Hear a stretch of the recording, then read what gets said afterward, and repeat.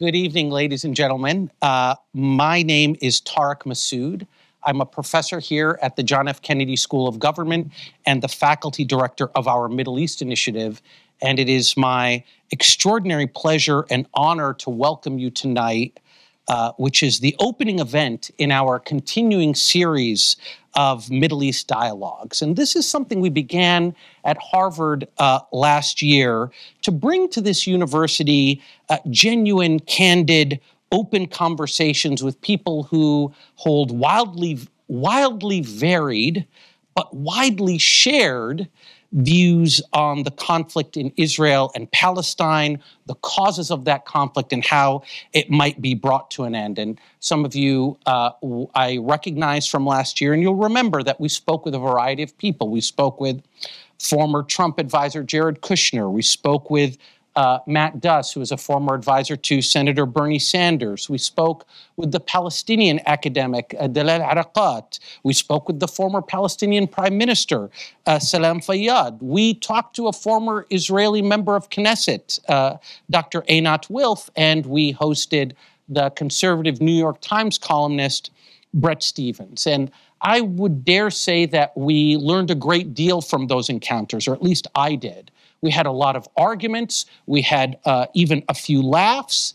And I would say that we emerged uh, more knowledgeable, empathetic, and most importantly, more cognizant of the profound complexity of that conflict.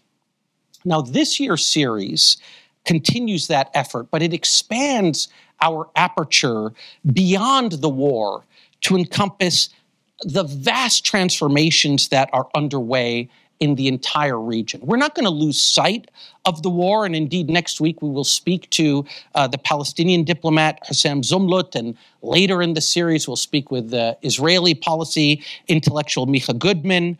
But we're also going to take up issues such as the economic transformations happening in the region, the political reforms happening or not happening uh, in the region, and the role of the United States in the Arab and Muslim world. And in fact, on that latter topic, uh, we'll speak with hopefully he won't cancel on us, uh, Ambassador Robert O'Brien, who is uh, President elect Trump's former national security advisor. But given the broadened focus of this iteration of the series, it is perhaps fitting that our first guest should be one of the broadest minds in our region, if not our planet, and that is His Royal Highness uh, Prince Turki bin Faisal Al Saud. Uh, um,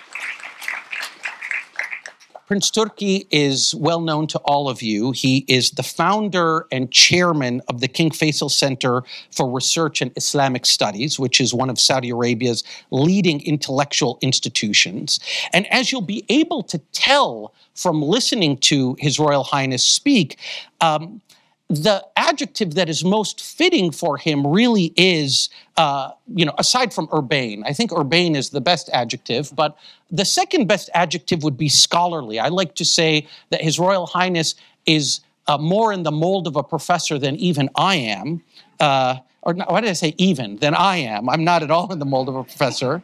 Um, and so it's not surprising that he spends most of his time today running what is essentially an academic institution and lecturing and sharing his wisdom at other academic institutions around the world, including Princeton and Georgetown. What might be slightly more surprising to those of you who are not uh, familiar with the personal history of this extraordinarily thoughtful, cultured, and humane gentleman is that he spent 24 years as the head of Saudi Arabia's General Intelligence Directorate, which is the Saudi equivalent of the CIA. Now, in Arabic, it's called al Mukhabarat al Amma. Anybody who from the Arab world who thinks mukhabarat al-amma does not think scholarly, urbane uh, gentlemen. We typically think of harder, harder people. Um, certainly not people with the uh, extraordinary elegance, erudition, and benevolence of Prince uh, Turki. Indeed, the, uh, the prince chronicles some of his time as the director of intelligence in this new book uh, called the Afghanistan File, which is about his efforts, particularly in Afghanistan, both to push the Soviets out of Afghanistan and then to come to some kind of workable post Soviet invasion uh, order. After leaving that post, His Royal Highness, as you all know, served as the Saudi ambassador to the United Kingdom and then to the United States. So, who, the gentleman that we have here with us today is not just a witness to history, but a shaper of it. And we are extraordinarily privileged this evening to have access to his first rate mind as we strive to understand what is happening in the in, in the region that he loves, in the country that he loves, and indeed in the world. So, the way we will do this is we will speak for about 45 minutes to an hour. Then we will open the floor to questions. I've been instructed by my overlords to remind everyone that this event is being recorded and live streamed. I've also been given some text to read about how we will handle possible protests. But looking at the beatific faces of this extraordinary crowd, I know there will be no protest, not just because they're wonderful people, but because Your Royal Highness is unprotestable. Um, so, so please join me in welcoming back to Harvard University His Royal Highness Prince Turki bin Faisal Al Saud. Thank you. Thank you. Very much. So, Your Royal Highness, I'd like us to talk about three broad things before we open it up to uh, our uh, highly intelligent audience. So, the first uh, issue I'd like us to talk about is the war in Gaza, uh, or what Israel is calling a war on seven fronts. Uh, I think I could name all the fronts. Um, then I'd like us to talk about the US Saudi relationship and particularly how it might evolve under uh, President Trump. And then finally, I'd like us to talk about developments in Saudi Arabia, the momentous changes that have been put in uh, place by uh, the Crown Prince uh, Mohammed bin Salman. So I hope that set of topics is agreeable to Your Highness.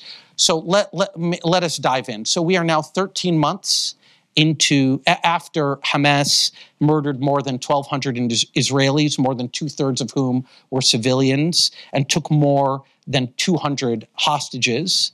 And in response, Israel's military campaign to eradicate Hamas has killed 45,000 civilians by some estimates, displaced many multiples of that, and uh, has so far resulted in 3,000 Lebanese deaths and much more one expects to come.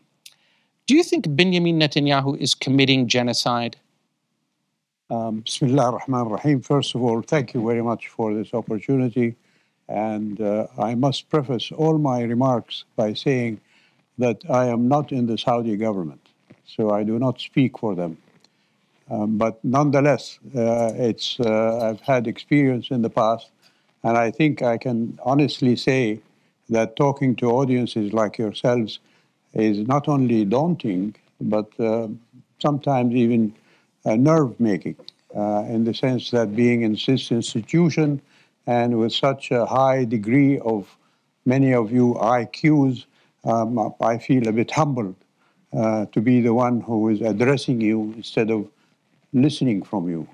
So uh, Tarek Masoud has been more than generous in uh, giving me the opportunity to meet many of the uh, intellectually inspiring, um, I could say, icons of, of, of, professorship in, in this institution, and I thank him for that.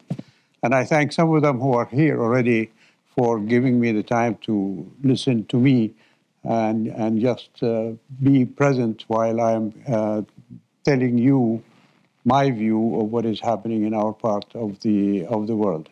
And uh, Tarek Masoud is right. Yani the, the, uh, my view on, on Gaza is, is that um, the, the, killing has to stop.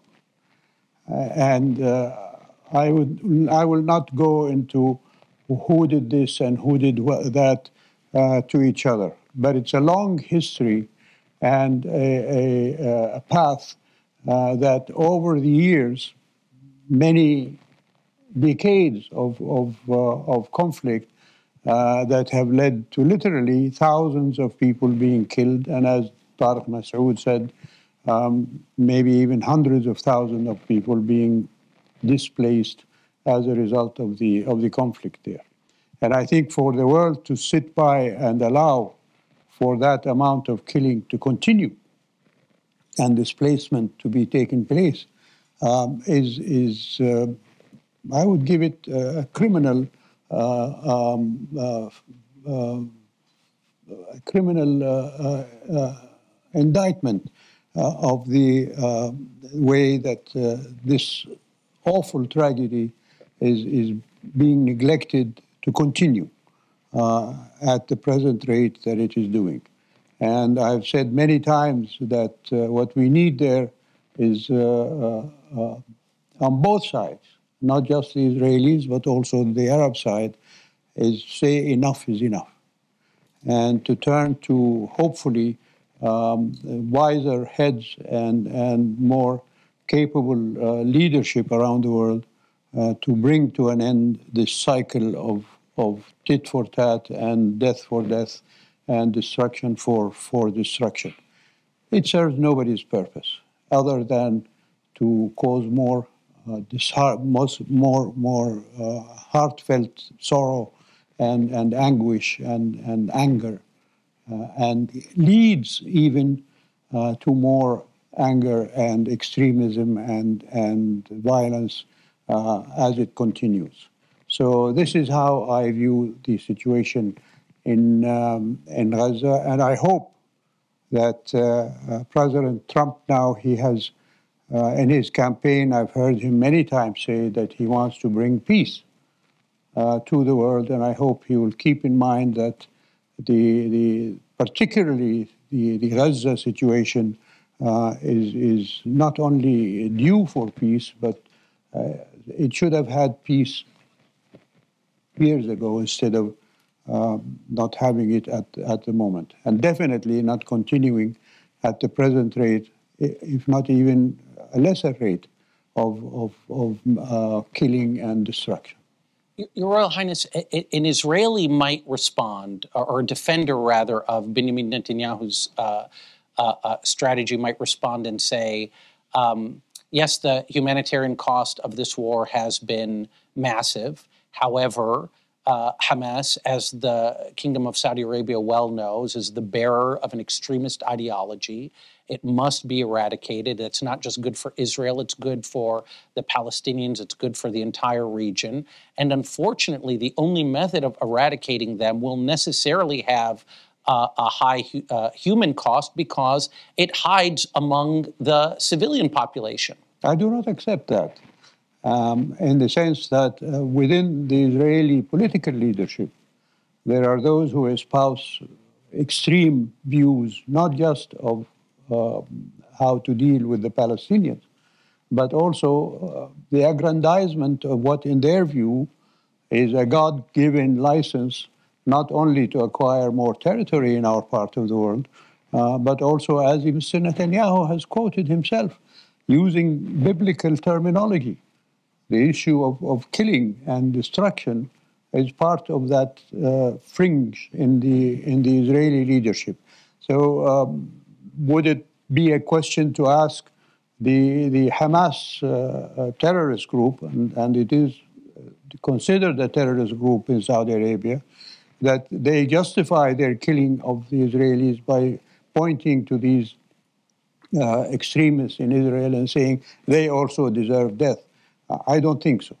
Uh, and I don't think that uh, uh, there should be any justification for any civilian killing. I recognize in any war and so on that there is collateral damage. Um, all wars bring that.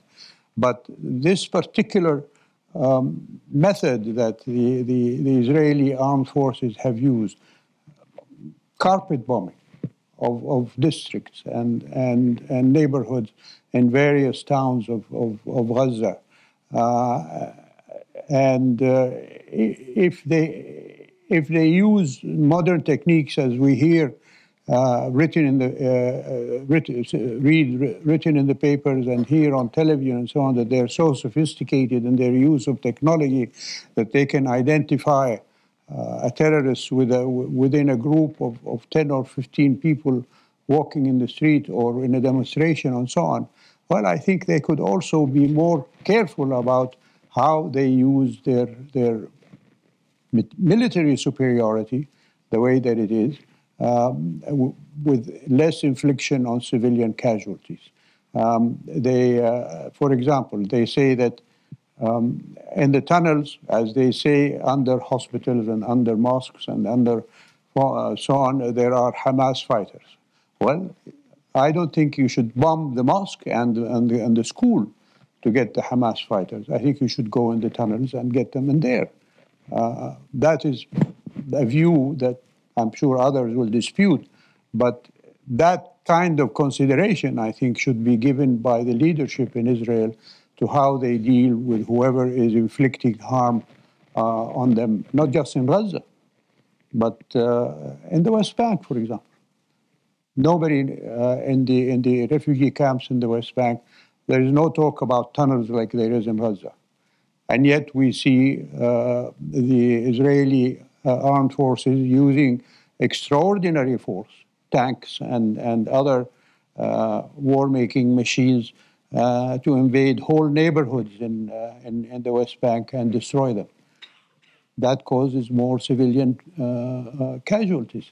So they should be more targeted in their, in their dealing with the so called terrorists that they want to eradicate than to allow for the, what is it? You said 45,000. That is an estimate. That, that's an estimate from the Ministry of Health in Gaza, which is Hamas controlled. So whenever I cite that statistic to Israelis, they say that that could be even an overestimate. Well, it could be. It could be. But my view is even one death on both sides is not worth the destruction that is taking place.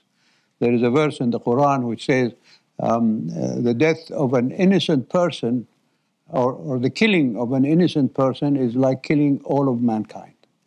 And that is, uh, that is the attitude that I think um, a state with recognition as Israel has in the world um, should take into consideration, unlike a terrorist group.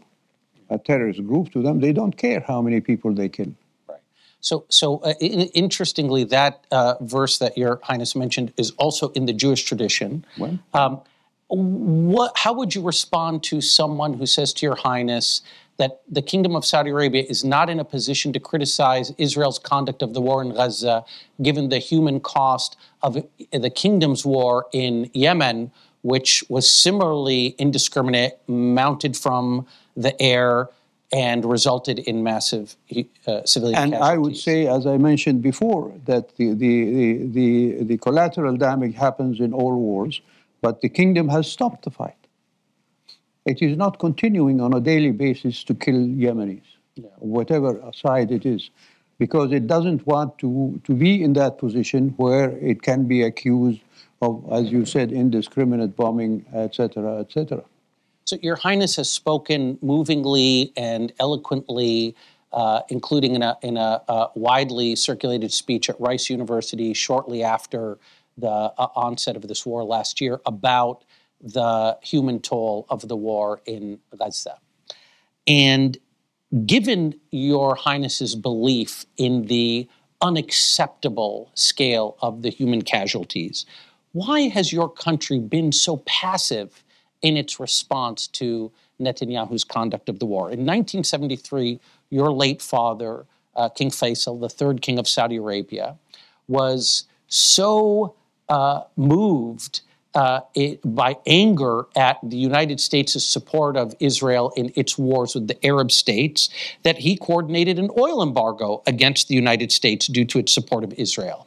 And at that time, nobody was accusing Israel of doing anything uh, even in the neighborhood of genocide. Israel is just in a war with its neighbors. So not only is your country not doing an oil embargo now, but you have informal relations with Israel. And if press reports are to believe, be believed, uh, Saudi Arabia is slowly pursuing normalization with the state of Israel. So can you help us understand this? Well, your question leads to several answers. Um, one of them is that the kingdom is not pursuing at the moment any normalization talks with Israel because of the of the war in Gaza, and uh, the uh, the orchestration of the so-called uh, normalization talks between the Kingdom of Saudi Arabia and Israel was at the hands of the American administration. When we were talking to the American administration of establishing a firmer linkage, if you like, between the two countries so that uh, we would be sure that when we face issues of a foreign invasion or something like that, that America would be with us, and vice versa, the kingdom will be with America when it needs uh, Saudi support, whether uh, military or civilian or uh, in, in whatever form, etc. It's a reciprocal re- uh, relationship. Um, the, the throwing in of the normalization between Saudi Arabia and Israel occurred at the request of the United States. And the kingdom's response to that was that we must have a Palestinian state in place before we can talk about normalization with Israel. Why? Because we've seen that those countries that did normalize with Israel, starting with Egypt in 1978 79 and going through Jordan and then um, President Trump's uh, so called Abrahamic uh, uh, talks and uh, uh, events uh, when he was in the presidency um, hasn't. Has, it hasn't led to, to a stoppage of the of the killing, and the Palestinian people continued to suffer in spite of the normalization between Israel and all these Arab countries. And the kingdom would like to see an end to that uh, cycle, as I said, of violence, etc. Uh, and uh, if it is, and that is why it offered the Arab Peace Initiative yeah. back in 2002, and before that, the Fahad Peace Plan, which unfortunately neither of which were accepted by Israel. And the, the, the, the, Arab peace plan talks about normalization with, uh, with, uh, with Israel as a, a, a consequence of uh, an Israeli Palestinian agreement on peace and, mm-hmm. and uh, uh, state for, for, for Israel. So that's one part of an answer to your question. Can, can I just ask a let, let me just continue the other so I don't lose my uh, um, train of thought. the other one, of course, on, on the embargo. In, in 1973, uh, uh, the United States imported, I think, over one and a half million barrels of oil from Saudi Arabia. And uh, the share of OPEC uh, uh, oil production at the time uh, was over 50% of world oil production. Um, the Arab portion of OPEC was more than, than, than 70% of the OPEC production at the time, if I'm not mistaken. Um, nowadays, the United States is the leading producer of oil. So any embargo on the United States uh, will have no impact as it did in 1973. Uh, there will be those, of course, who say that, of course, well, if there is a, um, a stoppage of production of oil by Saudi Arabia and other countries in the area, like happened in 1973, that inflation will, will become uh, so high that the economies of all of the world will be affected and so on, but so will the economies of the oil producers. That was true in 73, but you deemed really. the cause in important 19, enough. In 1973, actually, and some oil producers uh, made more for, for their oil because of the scarcity of the, of the oil and selling to other customers. And so that is something that uh, must be also taken into, into consideration. Uh, there are oil experts here, His Excellency, uh, our economic professor here can give you a better answer than me uh, on that issue. But uh, my view is that uh, an embargo these days will not be as effective as it was in 1973. That's what the second portion of your question. The third portion about Saudi Arabia doing something. Mm. Saudi Arabia is leading not just the Arab world, but the Muslim world and the Europeans in trying to establish uh, the two state solution for the Arab Israeli dispute. Uh, if you look at the diplomatic uh, uh activity of the kingdom, it expands all around the globe. And uh, the, uh, the, the delegations representing several countries, most recently at the United Nations General Assembly, the coalition that was formed, headed by Saudi Arabia and Norway, uh, to uh, bring to fruition a two state solution, is an example of what Saudi Arabia is doing uh, in order to achieve that objective. And it is not sitting on its backside and uh, watching uh, the, the killing and doing nothing. So, so Your Highness, I, am going to uh, um, stipulate that everything you say is right and everything that I say is uh, uh, is what comes from ignorance. So I will accept Your Highness's claim that, in fact, no, Tarek, Saudi Arabia is doing quite a lot to end the war in Gaza. I, I, I think I, I would just disagree that the Kingdom of Saudi Arabia has stipulated that a Palestinian state must be established. My understanding is the precise language is irrevocable steps towards a Palestinian state are necessary. Read what Prince Mohammed bin Salman said in his speech to the uh, Shura Council just a month ago. Yeah. Which he said an establishment of a Palestinian state with its capital in Jerusalem yeah. is the way to get normalization with Israel. So, so, so let, us leave aside normalization for, for a second. So there, there's an alternative hypothesis about relative Saudi inaction. You, you have said no, Tarek, there's no Saudi inaction. So I will flip the question a little bit. So I will accept that Saudi Arabia is doing a lot to try to end this war and has been doing a lot to try to end this war since October 8th, 2023. That, that would be Your Highness's. No, uh, I what, would say that Saudi Arabia has been doing a lot since 1948. Fantastic. Fanta- even, even better, even better, even better. So, so, Your Highness, I guess the question somebody might ask is well, wait a minute. Why, would, why should Saudi Arabia want to pressure the Israelis to end this war? Let's look at the state of play now, a year after October 7th. Yahya Sinwar is dead. Hamas, which Your Highness has said is a terrorist group, is essentially decimated. Uh, Hassan Nasrallah, the leader of Hezbollah, is dead. Several of Hezbollah's top leadership have been killed in a stunning Israeli operation. Israel has even taken the war to your country's great rival, Iran, which is now feeling the squeeze and has its proxy network under a great deal of pressure. So, how would you respond to somebody who says there is no greater servant of the Saudi national interest than Benjamin Netanyahu? And how many other Palestinians and Lebanese have been killed since then? Not just Sinwar and, and Nasrallah. But as you said, 45,000 by estimates in, in Palestine, more than 3,000 in, in, in Lebanon. Is it worth for Saudi Arabia to, to enter into any normalization with Israel while it is continuing to commit this carnage and this destruction of, of human life, innocent human life? Look at how many children were, were killed. And look at the consequences of the killing of those children and the orphan making of those who have lost their mothers and their fathers and so on.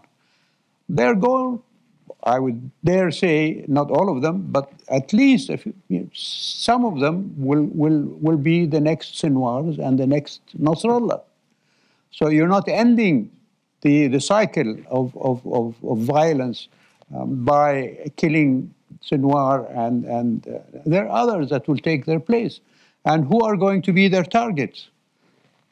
They feel so aggrieved, and I would imagine that anybody losing their parents in the way that they have been killed in Palestine and Lebanon recently through bombing or through uh, explosives or through sniper fire or whatever will bear in their heart a willing, uh, not just a willingness, but but uh, a well of, of, of anger and and and revenge seeking that you and I cannot estimate because we our parents were not weren't with that way. So those are the ones who are going to be the next Sinwars and the next Nasrallahs and the other mischievous and miscreants who's going to uh, attack not just American citizens somewhere, but Saudi citizens and other victims in the world. When you say to the Israelis, end the war, do you mean just end the war in Gaza or end the war on all of its fronts? Uh, everybody. I, I don't want to see killing in any part of our world. Period. When you saw the killing of Hassan Nasrallah,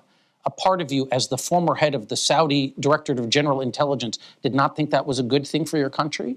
Well, as I said, the, the, the disappearance of Hassan Nasrallah is not going to end the, the, the violence nor the mischief that Hassan Nasrallah caused not only to Saudi Arabia but to others in the world.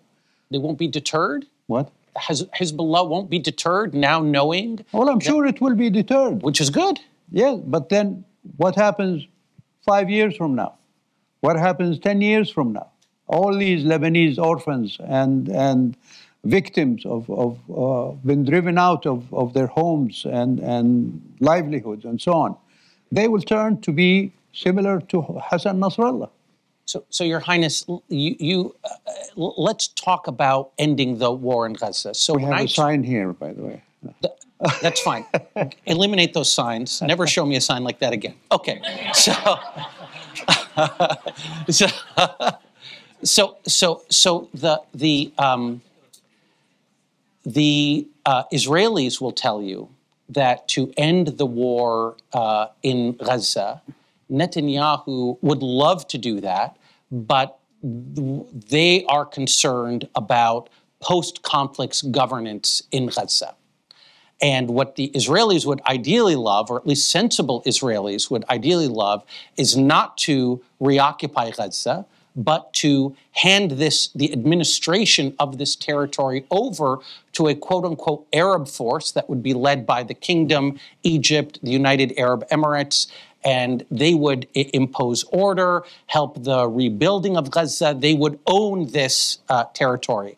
The Saudis have been very reluctant to do that. And that's part of why some Israelis will say this part of the conflict, the part of the conflict in Gaza, has been so difficult to end. So why won't Saudi Arabia commit to coming in and helping uh, reestablish order in Gaza if that is going to end the bloodshed against which Your Highness has spoken so eloquently? I wish you're right about Netanyahu's concern for the day after, and which I believe is not. He's more concerned of not going to jail once there is peace in, uh, between uh, the Israelis and the Palestinians.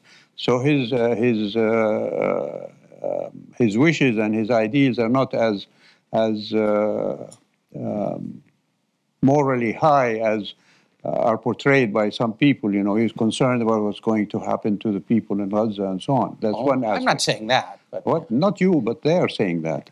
Um, and so uh, I, I give no, uh, uh, no credence or, or credibility to anything that comes out of Netanyahu. he is, in my view, a criminal who deserves to be put in court and convicted, not just of genocide, but of other things. He failed his own people. He was the main financier of, of, uh, of the so called terrorist Hamas groups by allowing Qatar to send uh, money to Hamas through whom? Through Israeli banks. Now, he should be brought to trial by the Israeli people because it was his enablement of Hamas that allowed Hamas to do what it did. That's one aspect. Um, the other aspect, of course, whether Saudi Arabia and others, I think the whole issue should be dealt with on a worldwide basis and not just an issue of one country or another country. I think there should be um, a world uh, uh, commitment through the United Nations. It is the only international organization that is available in spite of its uh, lackings, in spite of its uh, weaknesses, etc., uh, through which a, a, consortium of world powers uh, will come the day after, uh, not only to maintain peace, but also to reconstruct, um, uh, not only in Gaza, but also in the West Bank. And I have recently been pro uh, also promoting the idea that uh, part of that UN setup would be an article to come out in a United Nations Security Council resolution barring anybody on the side of the Palestinians and the Israelis who does not accept a two state solution from being in the negotiations for a two state solution.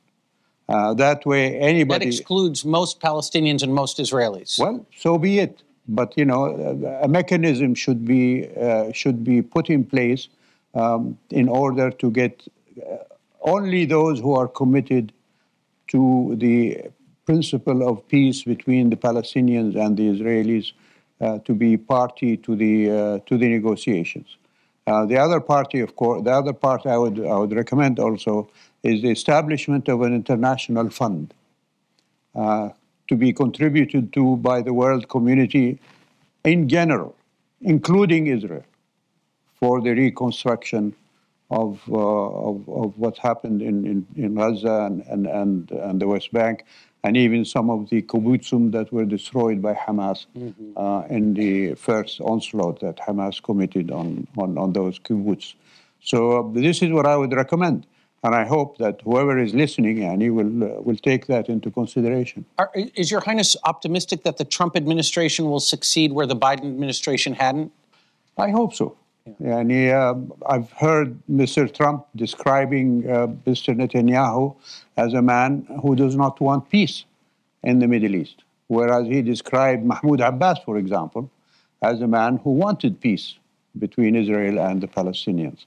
So that's one aspect. The other aspect is that Mr. Trump has publicly said that he was stabbed in the back by Mr. Netanyahu when they had agreed to together on an operation to get rid of General Soleimani, and at the last minute, uh, Mr. Netanyahu backed down. So uh, I think there is uh, something there that between Mr. Trump and Mr. Netanyahu that uh, gives me hope that uh, Mr. Uh, Trump will not accept anything that Mr. Netanyahu tells him, mm. except to get a peace settlement with uh, with the Palestinians. So, Your Highness, we could talk a, a lot more about this uh-huh. uh, important conflict, but I do want to just before I turn it over to our audience, we end at 6:30, so we have time.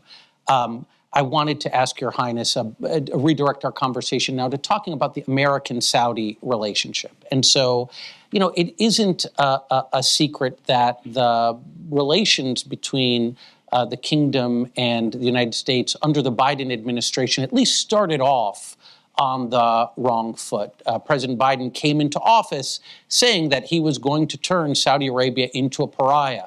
I've been reading uh, Bob Woodward's new book, and he uh, uh, uh tells a, a, story where Antony Blinken refers to uh, the crown prince of your country, Mohammed bin Salman, as nothing more than a spoiled child. In contrast, President Trump has made no secret of his warm feelings towards the kingdom and towards its leadership. You have, Your Highness has just mentioned the the possibility of a security guarantee from the United States, along with American support for a Saudi nuclear program. These are things that Saudi Arabia has been seeking. Do you think now, under President Trump, your country is more likely to get those things? First of all, let me start by saying I don't believe everything that Mr. Woodward writes. Um, mm.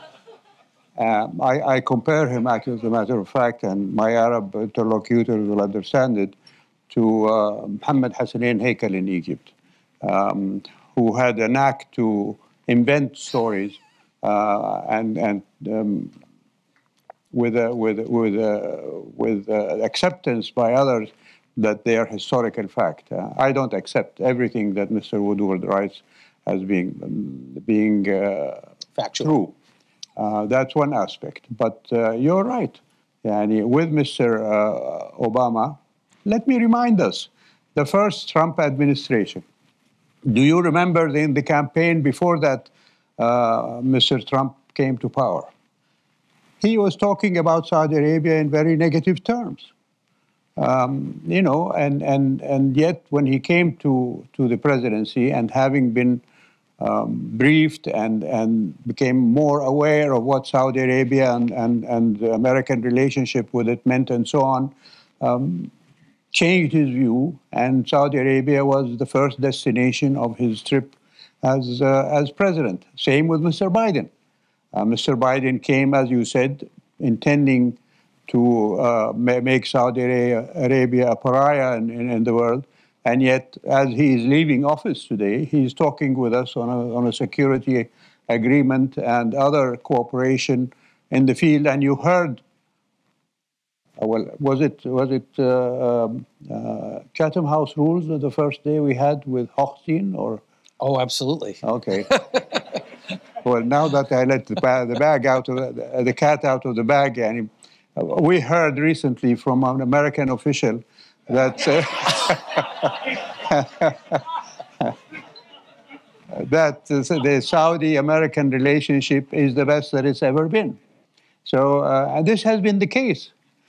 You know, one of the things that is startling in this election is that the name of Saudi Arabia never came up in the campaign. Mm. But if you like, you look at previous uh, campaigns, yani all the way back to uh, Nixon times and post Watergate, um, there was always somebody denigrating Saudi Arabia or accusing it of one thing or another. This time around, I was sat there watching it, and I must tell you, by this audience, as I told you and others, I enjoy watching American elections. Not simply because of, the, of, of, what they are, and they are really a, a tremendous exercise in, in, in, in, verbal gymnastics and, and, and other, other just uh, amazing talents. It's like watching a Bollywood movie. You have the whole gamut of emotion and, and action and music and uh, stabbing in the back and uh, bowing down and you know everything is in there. And this goes on for four years. I, i'll bet you from now well mr trump can't run again but i'm sure his vice president is already looking to four years from now of presenting himself and he's already preparing the, the you know so it, it's wonderful to be in america and to see this exercise in how people reach decisions and so on. And I will add another thing that I said in some of my meetings here. I'm gratified that the American political system has proven itself to be so resilient and so strong that this election has passed without any undue friction or doubt or any any inclination of unacceptability to one side or the other. Mm. And this was not the case in the, in the last election. Yeah. So that is something I think that is a sign of, of how strong the institutions are that you enjoy here. Your Highness, first of all, thank you for that uh, very rousing endorsement of American institutions. I know a lot of people, no, I say that very seriously because I know a lot of people, particularly on this campus, may be feeling disheartened about the result because their favored candidate didn't win. But I think the Prince is redirecting our attention to uh, a, a, deeper source of uh, uh comfort uh, at what happened, and that is the durability uh, of the institutions and the peaceful transfer of power. But Your Highness uh, did not really answer my question about whether the Trump administration coming in increases the likelihood that Saudi Arabia will get things like the ironclad security guarantee and the nuclear program. I, I, I take it from your comment that you're optimistic, and so I'd like to ask a follow on question, which is okay, Saudi Arabia, inshallah, will get these great things from the United States of America. What does the United States of America get in return for giving your country a security guarantee, a nuclear program, etc.? In terms of, of, of diplomacy and politics, like Mr. Trump got on his first visit to Saudi Arabia. Saudi Arabia collected 57 leaders of 57 Islamic countries to hear Mr. Trump give his speech in Riyadh. So they can just fill a room for him? Is that the, absolutely? That's, that's what he gets. That no, that's just as I told you in yeah. terms of diplomacy and, yes. and, and political action for a country like the United States that wants to have, um, and it has the leadership role in, in the world. So that's one aspect. The other aspect, of course, Saudi Arabia, through its Vision 2030 and its transition from the, uh, the fossil fuels to a more um, a combination of, of uh, energy sources from different uh, energy energy capabilities uh, will be able to work with with with the United States on economic help for for the whole world. Mm.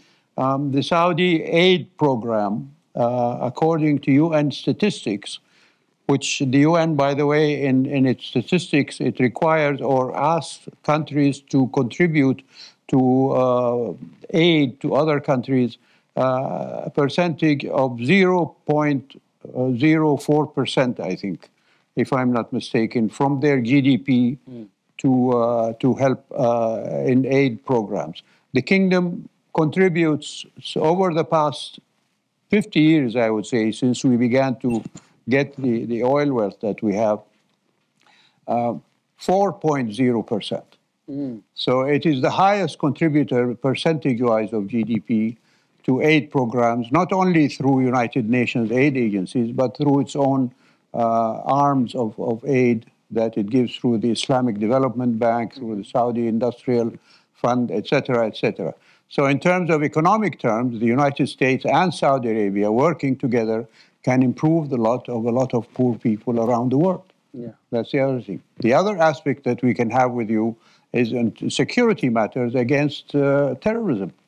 That's been an ongoing Saudi uh, uh, American cooperation uh, forever. And when I was in the intelligence business, for example, I remember um, in 1997 or 96, uh, if I'm not mistaken, uh, there was a joint committee. Uh, John Deutsch is here, and I think he can vouch for what we and the South and the, the American CIA were doing together against terrorist activity and, and other um, common interests in there. So there is a that factor uh, to be uh, in it as well.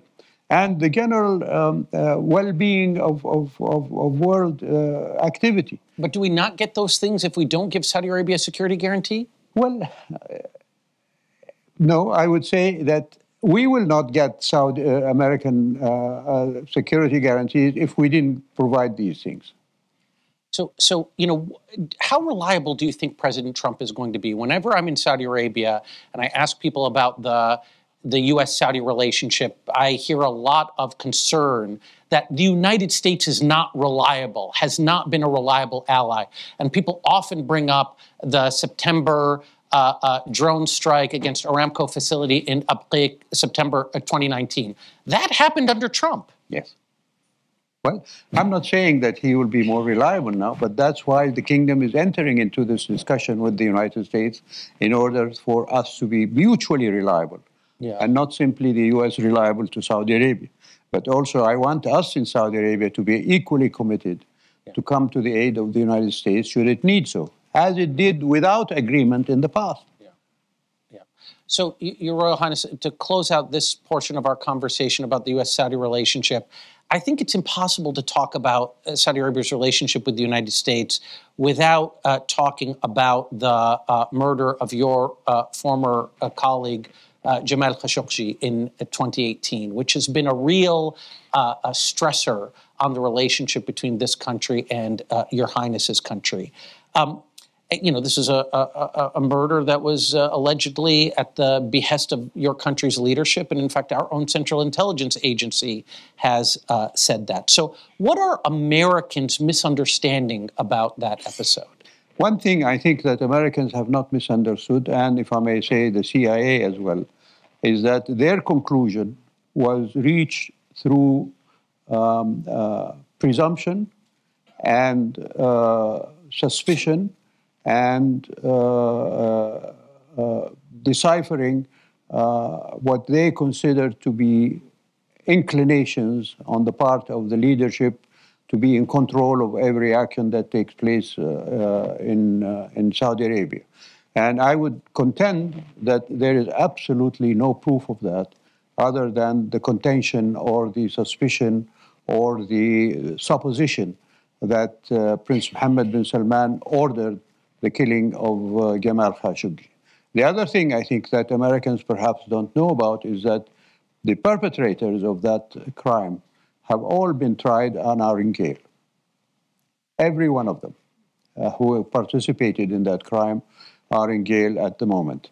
And uh, the other thing, of course, that you may not know is that Jamal Khashoggi, some Jamal Khashoggi worked with me as my press spokesman in the embassy in London and then subsequently in, in, uh, in Washington.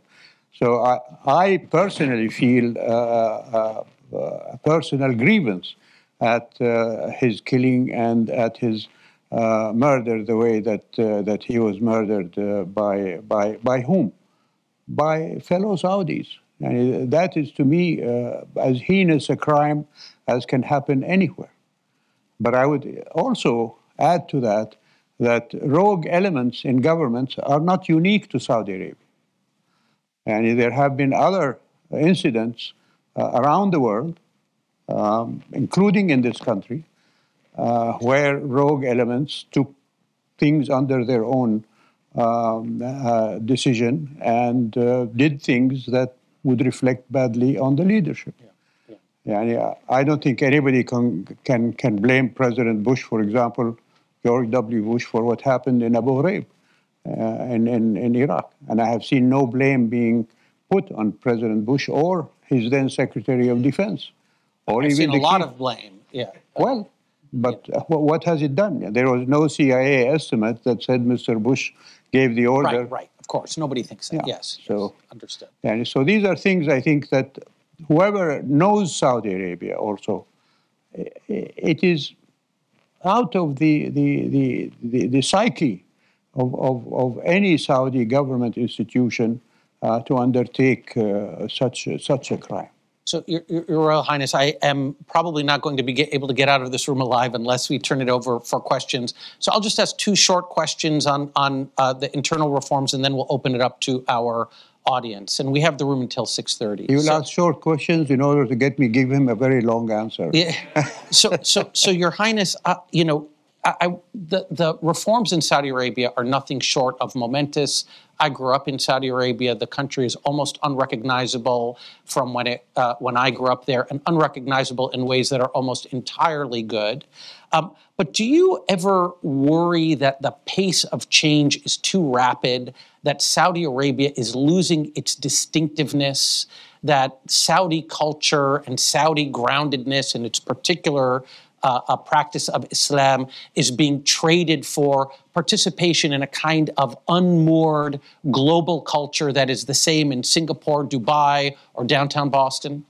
My view is that hopefully the the um, the, the the moral composition of, of Saudi culture uh, itself by the country opening up to the rest of the world as it has done will be also impactful on our visitors as it is uh, on our citizens.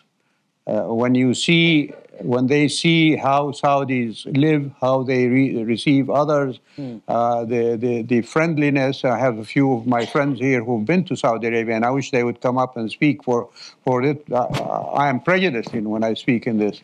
Uh, my, one of my colleague uh, mates from from Georgetown, two of them actually are here with us. I don't know if there are others as well, uh, have been to the kingdom, and uh, they can tell you better than I can uh, what Saudi Arabia is and, and, and the, the, the distinct uh, um, uh, generosity and, and, and friendship and, and empathy that Saudis have for others who come uh, to, to enjoy other the sites or to do business or whatever you like. But this is an opportunity for me to tell you all uh, that you're welcome to come to Saudi Arabia. Yani now, alhamdulillah, after many years of, of uh, restrictions on, on visitors from abroad, you can go online and get a visa in five minutes. Yani, so please take advantage of that and come and see for yourselves. Don't believe what I tell you. And uh, what I've seen from those who have come and left the kingdom, um, you told me that the students you took to Saudi Arabia last year. Uh, and they want to work can, there. Yeah, they all want to work there. Why? Because they saw something that was attractive to them.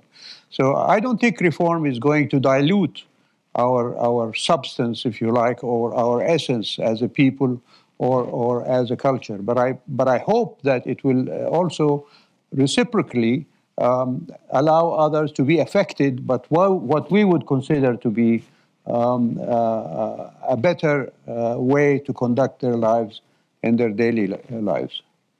The, the economic reforms, the social reforms that have been happening in Saudi Arabia are absolutely momentous. I, have heard the Crown Prince and others in the Saudi leadership talking about how these reforms are aimed at remaking the Saudi citizen and turning them into a more empowered person who thinks critically.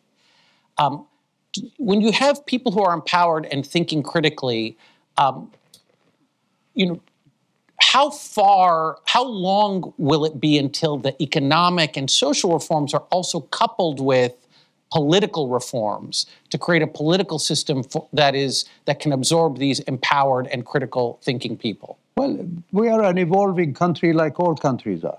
Yeah. And I think the, the citizenry are the ones who are responsible for how they will approach that. Uh, and it's not going to be a matter of a top down um, uh, decree uh, on what to, to, to do that, but rather um, an inter uh, uh, an integration of, of the, the sense of what the people want and what the, the leadership can provide them. And uh, there is a very um, classical Arabic uh, uh saying attributed um, to uh, the Khalifa Muawiyah ibn Abi Sufyan, who followed the four principal uh, caliphs of the Prophet Muhammad, peace be upon him when he was asked about how he dealt with the people. Yeah. Is this Sha'rat Muawiyah? Uh, Sha'rat Muawiyah, which is the, the, the, hair of Muawiyah. He said, There is a hair that is held on both sides by me and by the people. If the people pull, I give in. If they let loose, I pull. Uh, and, and it is that kind of, of. never let it break. I never let break, yes. That was uh, the, the end of it. Um, and, and in the kingdom, the, the, the, the, relationship and, and the institution, if you like, of the public majlis. The majlis is the audience that the king and the crown prince give to the public uh, on a weekly basis, where any citizen from Saudi Arabia can come and address whatever grievance, whatever opinion, or something like that that he wants from, from the king and so on. Uh, and that is a, a, practice that is very much part and parcel of the makeup of, of the uh, DNA system of the Saudi leadership. Uh, whether there's going to be more political reform, I cannot say. But my hope is that this hair that is linked between the leadership and the people will never break. Uh, and, and therefore, the reform will come when the people want it to come. Yeah. I've always felt the leadership of this university needs to read about Sha'rat Muawiyah. So we are now uh, going to open it up for questions. We have two microphones at either ends of the room, and so if you would please uh, queue up at the microphone. Um, this microphone is very lonely, so I would love to see some people queuing up at it, and I would love for there to be some gender diversity in the questioners which is not happening yet. Okay, so let me, I will start here with my colleague, Professor Erez Manela, please. Thank you very much. Uh, brief question. Uh, how concerned is Saudi leadership uh, about Iran and particularly about the Iranian nuclear program? And what does the Saudi leadership, what would it like to see in terms of the policies of the new incoming administration toward Iran? You want me to answer this or yes, collect questions? Uh, would you like me to collect questions? It's up to you. But why don't we answer that question because okay. that's something I should have asked, but of okay. course Erez asked it. Okay. Well, uh, we've gone through our ups and downs with Iran since the Iranian Revolution. Uh, started in 1979. Uh, when Khomeini came to power, he wanted to bring down all of the so-called uh, monarchic regimes in, in, in the area uh, after he successfully brought down the monarchy in, uh, in Iran. And we went through a tense period of relationship between us, culminating in the break of relationship when the uh, Khomeini uh, instigated the pilgrims that come to Mecca every year from, from Iran to, to attack the Holy Mosque in order to take it over uh, in 19, I think 84 or 85. Uh, I may be mistaken by a year or two there, uh, and that led to the break in, in the relationship. Um, subsequent to that, there was uh, a, uh, an effort to, to improve the relationship begun by the uh, then president of, of Iran, Khatami, not Khatami, Rafsanjani, who uh, met with uh, our crown prince at the time, and uh, they reached an agreement to improve the relationship. he left office, uh, uh, it was the last year of his uh, term, uh, and uh, the, the, diplomatic uh, relations were restored. and his successor, Muhammad Khatami, actually expanded upon Rafsanjani's engagement with Saudi Arabia. I would call it the, the then honeymoon between Saudi Arabia and, uh, and uh, Iran. But that's a honeymoon that's long over, and now. I have to give you the sequence in order to come to what we do now. um, um, to make a story sh uh, short, um, that unfortunately began to turn sour uh, at the end of the Ahmadinejad regime when Rouhani, uh, um, also we went through the, the Khobar uh, Towers uh, explosion that was instigated by what was then called the Hezbollah in the Hijaz, modeled after the Hezbollah in Lebanon. Uh, Saudi citizens adhering to the Khomeini philosophy, exploding uh, car bomb in front of towers housing American office, American military personnel in 1996. Um, uh, the, uh, but there was an, an, agreement reached between Saudi Arabia at the time, a security agreement where both countries agreed not to interfere in the affairs of the other and to try to uh, not allow anybody to affect their relationship. Jump to uh, 2017, I think, where uh, the kingdom uh, executed uh, a Shia rabble rouser who called for the uh, revolution against Saudi Arabia was tried. Nimr Nimr? Hmm? Nimr Nimr? Nimr. Yeah. Uh, Abdullah Nimr. Abdullah Nimr. Uh, he uh, was tried and, and, and, and sentenced and executed, and huge crowds of Iranians were allowed to attack the Saudi embassy in, in uh, Tehran and the Saudi consulate in uh, Mashhad, um, which led to the break in the relationship. Um, Post COVID, um, the Iraqis, the present Iraqi or previous Iraqi government began to uh, try to mediate between the kingdom and Iran at the request of Iran. And uh, after uh, two or three years of such negotiations that were also uh, done in Oman, which was also uh, mediating and still is mediating between the US and Iran, um, uh, Saudi Arabia and, and, and, Iran agreed to uh, reestablish diplomatic relations uh, and for the agreement to be signed in Beijing. Yes. And why Beijing? It's because it has good relations with both sides. Uh, and basically, I would call it uh, that uh, it is a kind of referee between both sides, where each side can go to the Chinese and say, look what the other side is doing, they're not adhering, etc. So this is where, since that time, two years ago, I think two and a half years ago, we've had diplomatic relations with Iran. My personal view is that uh, Iran is still short of implementing the agreement that was reached between uh, Saudi Arabia and Iran particularly on the issue of interference in the affairs of others. Uh, because we still see uh, Iran interfering in Yemen, in Lebanon, in Palestine, in Syria, in, in Iraq, uh, even as far away as, as, as, you know, other places like uh, Pakistan, etc.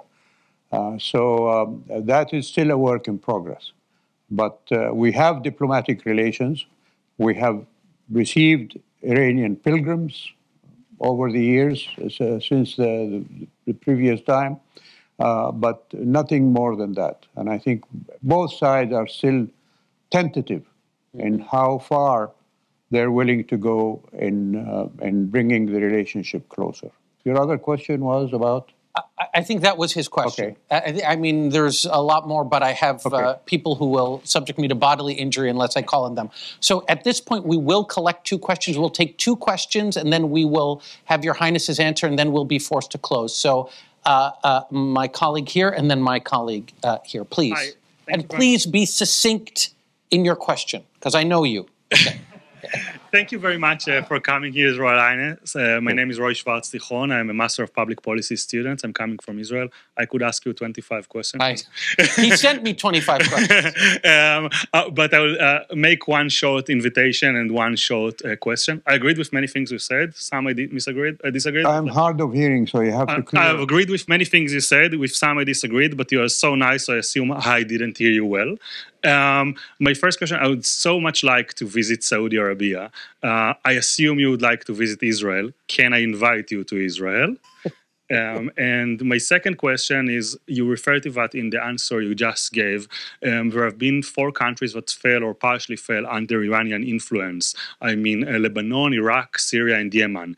Um, what Saudi can uh, make to bring back them to Saudi sphere and more specifically Syria specifically? Well, Very we'll you're going to take another. We'll question. take it- one more question. Thank you for that question. Please. Hi, I'm Rasha Musleh. Um, I'm a fellow at Carr Center here at HKS. I'm specialized in human rights and humani- humanitarian work. My question can you hear me? Get closer to the mic. Yeah. Okay, I'll just take it out. so, um, you got a question today, and I'm sure this is not the first time you get it, which is why don't Saudi Arabia and other countries come in and govern Gaza? And I guess this might be replicated in the West Bank, and then we have Palestine under the Arab world, I guess. This question, unfortunately, um, is like shows how Palestinians are usually deprived of, first of all, that their their identity is ignored, that their right for self governance, their their right for self determination is basically ignored usually. And this is not something that only Palestinians face because Arabs in general, general are usually lumped together, especially in the American society, in media, and others, as if we're, we're one entity. And this is part of the discrimination, bigotry, and others that we face here. My question to you is how do you think, what's the role that Saudi Arabia can have in changing this rhetoric here in the US? Especially that we're seeing this rhetoric also in politics now, where Trump would come up and just call Palestinians as a slur. So we are there are this track of um, discrimination against Arabs and Muslims has become so mainstream, and I think a political fact, a political pressure needs to be undertaken in this case. Do you think that Saudi Arabia can help in this? Thank you for that question. You'll have to clear to me. I, I didn't So, so uh, her question was twofold. First of all, she objected to the question I asked you, which was about why isn't Saudi Arabia and other Arab countries ready to come into Gaza to help post-conflict governance to stand up a Palestinian government? Uh, uh, uh, she she is saying that that question reveals a, a denigration of Palestinians and a denial of Palestinian agency, which she believes is part of a broader anti-Palestinian racism, and her and as evidenced by President Trump's use at one point of the term Palestinian as a slur when he said Biden's a Palestinian, and so she is asking what can Saudi Arabia do to correct that uh, uh, uh, uh, anti-Palestinian racism. So that fair? The, the first question The first question, he invited you to Israel, and his question was what can Saudi Arabia do to wrest Syria, Yemen, Iraq, and Lebanon from the Iranian orbit and bring it back into the Arab world and in the Saudi orbit? Well, we're, we're trying through diplomacy and through uh, economic engagement with these countries in order uh, uh, to show them that there is another way of doing things than simply being so totally aligned with, uh, with, uh, with Iran. Um, the difficulty there, of course, is that in, in these countries, uh, Iran also depends on non state actors that they have recruited and, and in many cases, even imported uh, into countries like Syria, for example. They brought uh, um, militias from not just from Iraq, but also from as far away as Afghanistan and Pakistan uh, into Syria. Um, uh, in, in Syria, particularly uh, with the other Arab League countries, we've reestablished relations with, with the regime, and an embassy was recently reopened in, uh, in Damascus. And hopefully, through that contact, not just with the leadership, but with the people of Syria, that uh, the effects of the uh, Iranian presence can be challenged, if not, you know, uh, downgraded, uh, if possible.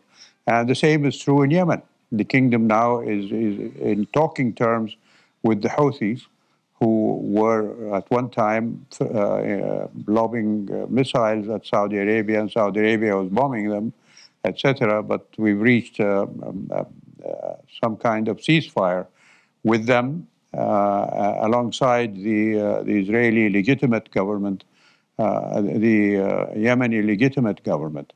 the irony there, of course, is that while Mr. Biden, when he came to power, and he objected to us undertaking military action in Yemen.